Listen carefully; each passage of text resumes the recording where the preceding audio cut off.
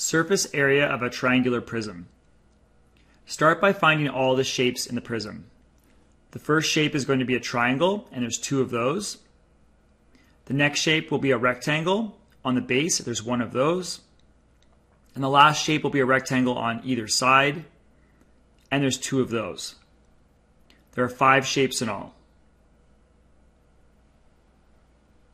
The next step is to find the area of the triangle. The formula for area of a triangle is area is equal to base times height divided by 2. This can be written as A equals BH over 2.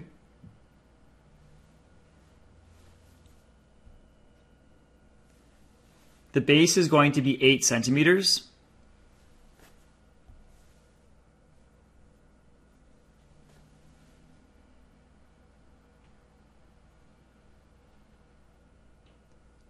And a lot of people think the 10 centimeters will be the height.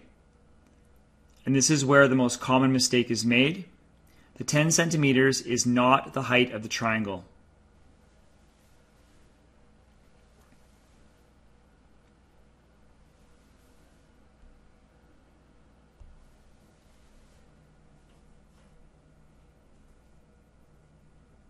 The height of a triangle is the distance perpendicular from the base to the top point of the triangle.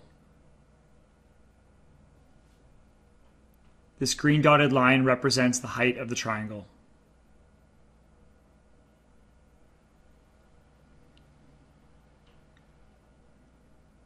You'll also notice that the height of the triangle has to be 90 degrees from the base.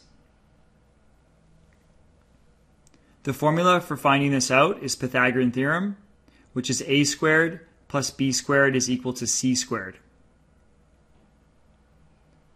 To solve this, we'll cut our triangle in half, and now we can solve for the height, which in this case we'll call b.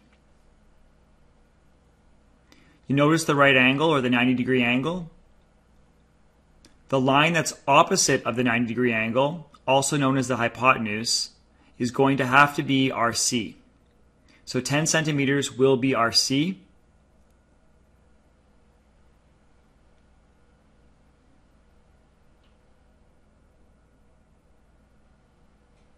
And our bottom line, for this case, we'll call our A. So since A is going to be half of the original triangle, the distance from A will be 4 centimeters. We can now solve for B, which is the height.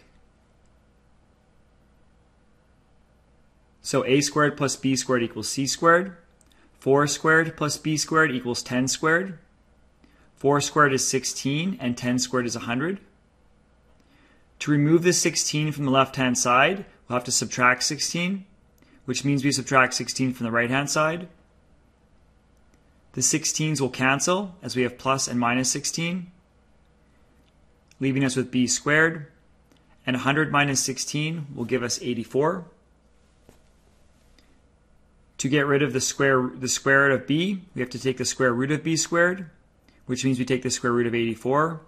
The square root and the square will cancel, leaving us with just b. And the square root of 84, rounded to the nearest thousandth, will be 9.165 centimeters.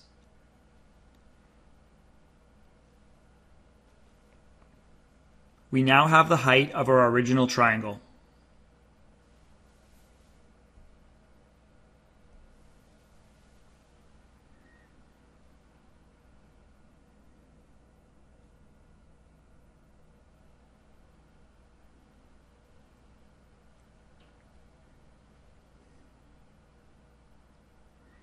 So to solve for the area of the entire triangle, the formula is going to be A equals base times height divided by 2.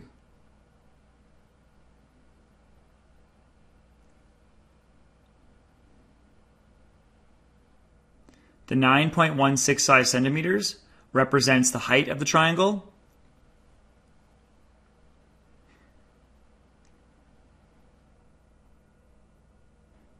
And the 8 centimeters will represent the base of the triangle.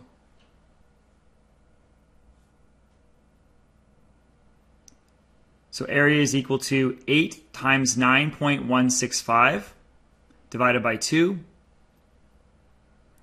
And this will give us a total answer, rounded to the nearest hundredth, of 36.66 centimeters squared.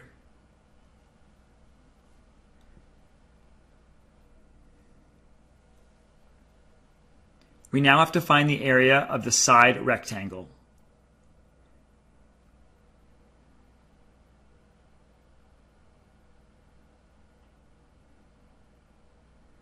Area is equal to base times height.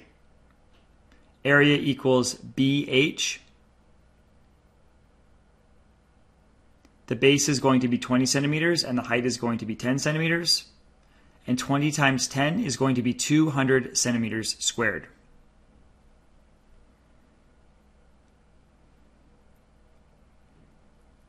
Our last shape will be the bottom rectangle.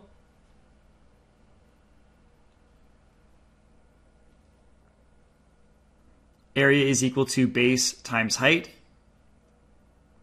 A equals B times H. The base is going to be 20 centimeters and the height is going to be 8 centimeters. So area is equal to 20 times 8 and the area of the bottom rectangle will be 160 centimeters squared.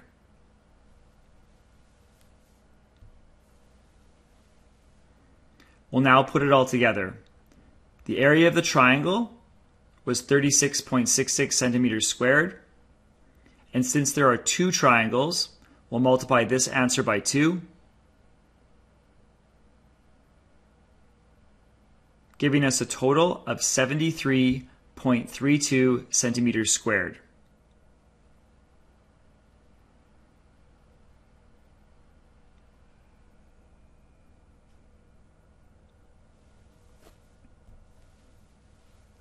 Next, we'll find the area of the bottom rectangle.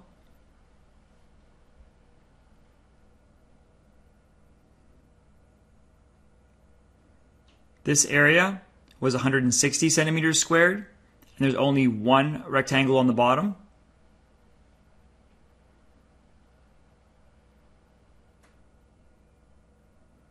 And finally, the area of the side rectangle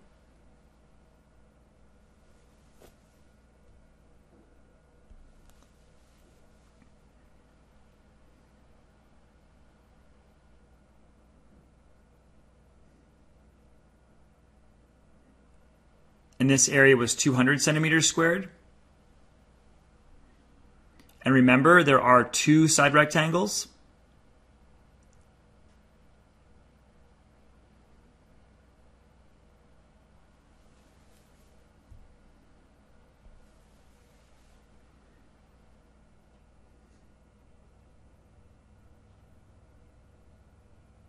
So that's going to be 200 centimeters times 2.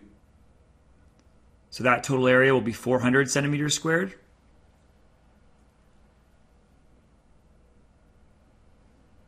And then your last step will be to add your totals together. So 73.32 plus 160 plus 400 gives you a final total of 633.32 centimeters squared. This will be the area of the entire triangular prism.